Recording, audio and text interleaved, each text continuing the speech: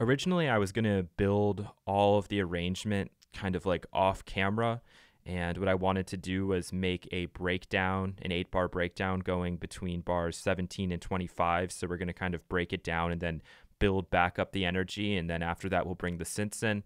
And uh, at first, I figured I might as well just do that on my own since it might be somewhat time consuming and boring to watch. And then I realized that for a lot of people, it's these parts, it's doing this in the arrangement that trips them up the most.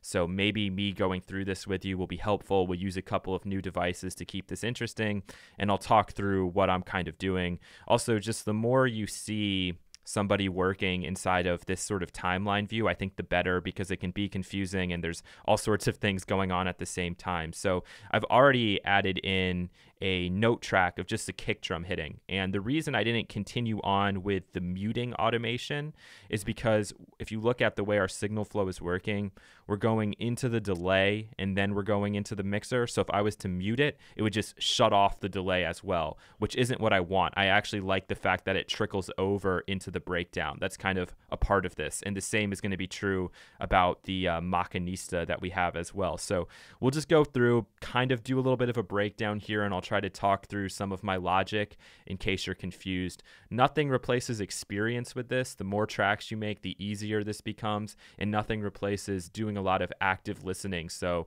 listening to songs that you like and maybe even songs you don't like, trying to break them apart and hear how they transition from section to section.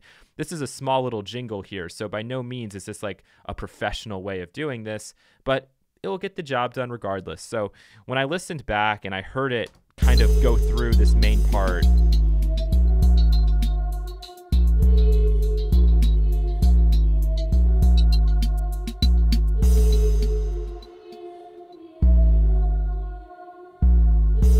I really kind of like the way that the delay trickled over, but I'd probably even like it to go on for a little bit longer. So I'm going to go in here and I'm going to find where that is here's the delay. And I'm going to automate actually the feedback and the level. And so right when we get to the end of that little phrase, I'm going to increase both of those. So let's just go ahead and kind of do this at the same time. I'll give myself a little bit of a cushion. And then I want to make sure actually at the end that it returns to its normal place. So I'm just going to double click here to make sure that it comes back. And then I'm just going to fade this up. That might be too extreme. We'll be able to hear it in context in a second. And I'll do the same thing down here as well.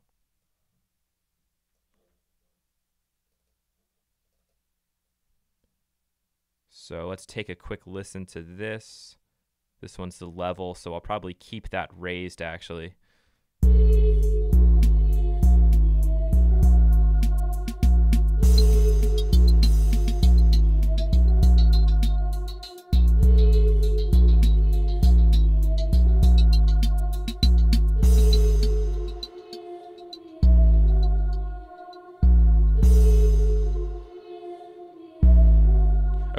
That's kind of what I wanted. I'd spend a lot more time tweaking this, but basically I just want that delay tail to run out a bit longer, and we will return to the original position before this comes back in at bar 25 if we actually go and kind of get a better view of the arrangement here. Uh, try to keep everything color coded when you can. It can be kind of tricky. I want all of these things to be the same color, actually. So I chose strawberry. Good. So I know these are all relevant to the Machiniste. This is the beatbox, so I'm going to change that color to something else so I just don't get confused as I'm going through.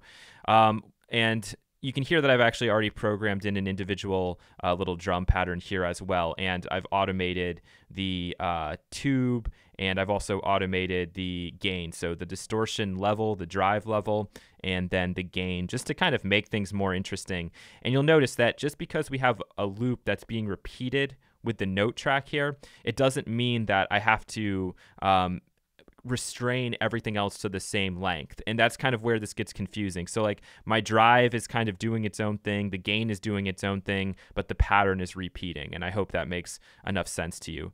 So, the other thing that I'd like to do here is really just make this part more interesting, the solo singer part. That's what's actually going to drive a lot of the excitement here. And so I think what I'm going to do is I'm going to mostly use a filter and then I'm going to use a pretty cool little effect that they have in here also. So um, I'm going to do a couple of things with this. Let me just listen back one more time to figure everything out.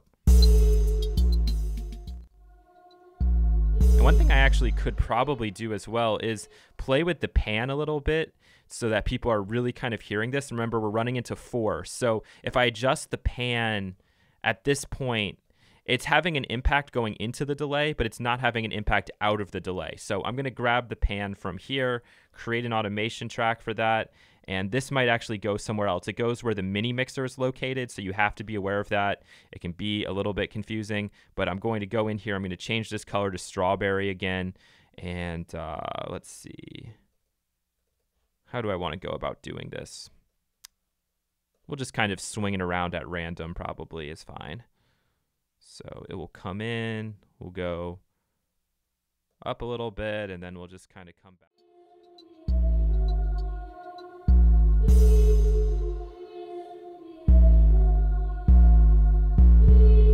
Okay, cool. Like I said before, I might go in and do some more tweaks off camera to make that last even a little bit longer. But for now, I think we are okay.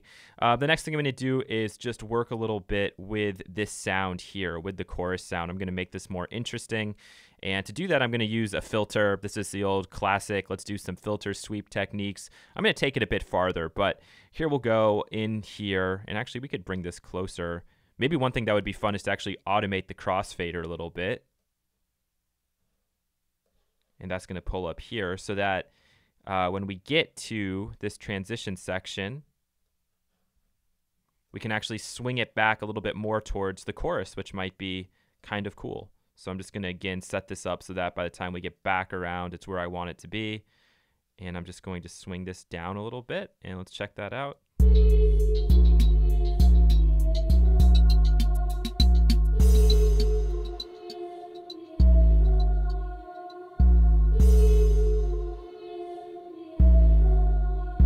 Becoming the more prominent thing.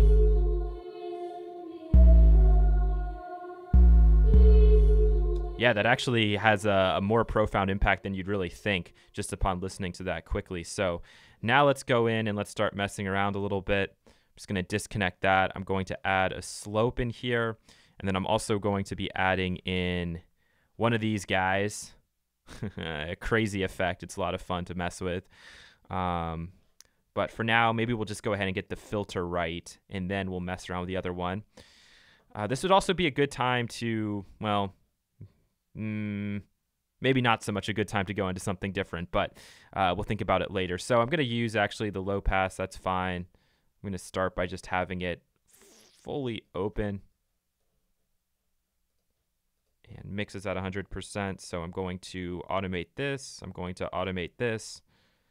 And where's it going to put that? Probably put it at the bottom. So I'm just going to drag that up so I know that it's working on the um, audio track I have, the solo singer. I'm going to call this filter sweep.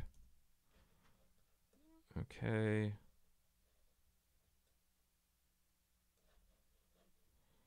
So I will create both.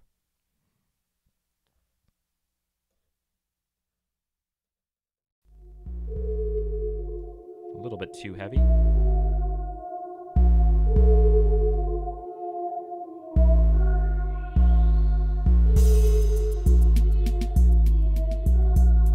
Cool, so I'm pretty happy with that. The only other thing I'm going to do is I'm going to run this into what they call the, I think they call it like the Rasselbock or something like that.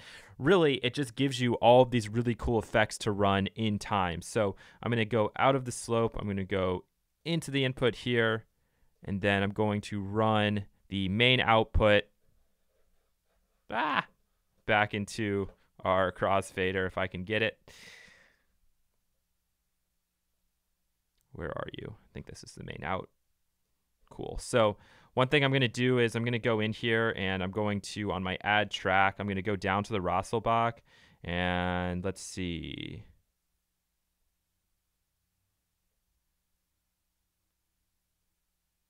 Where's our main output? I miss I must have used output 5 probably. What I could do is I could just add in a pattern track. That way it will only play during this time. That's one way of doing it. So we'll use pattern A1 and we'll just create something over this range. And we might only really need it to play in the second half. So we'll figure that out as well. So it might only need to come in like at bar 21. There. Uh, and let's just go ahead and make something. We could load up a preset or we can just kind of mess around with this. Let's see what we want. We can just try.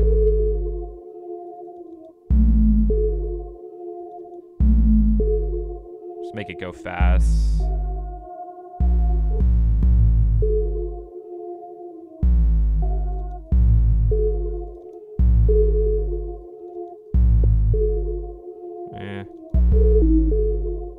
Kind of cool.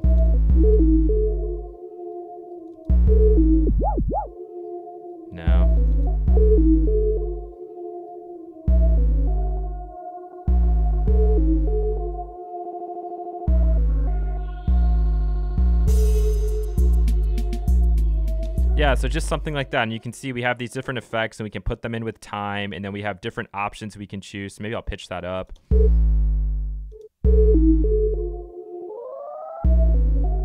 That's a little crazy though.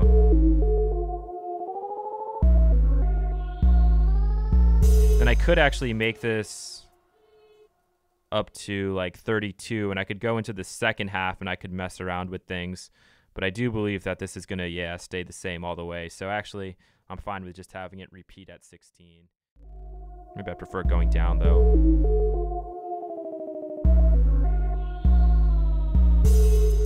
Yeah, you know, I'm pretty happy with that.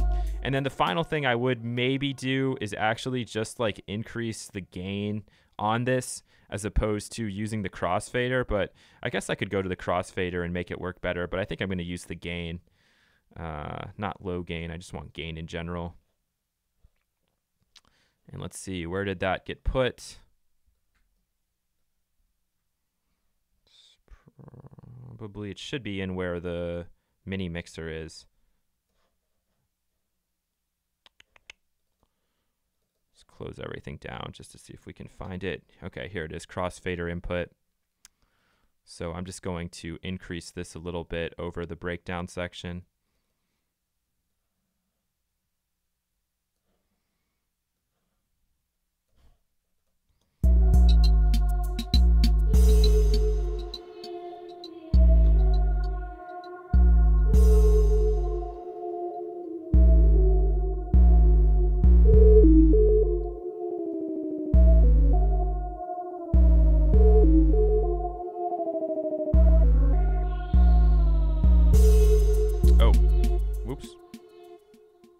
Too far.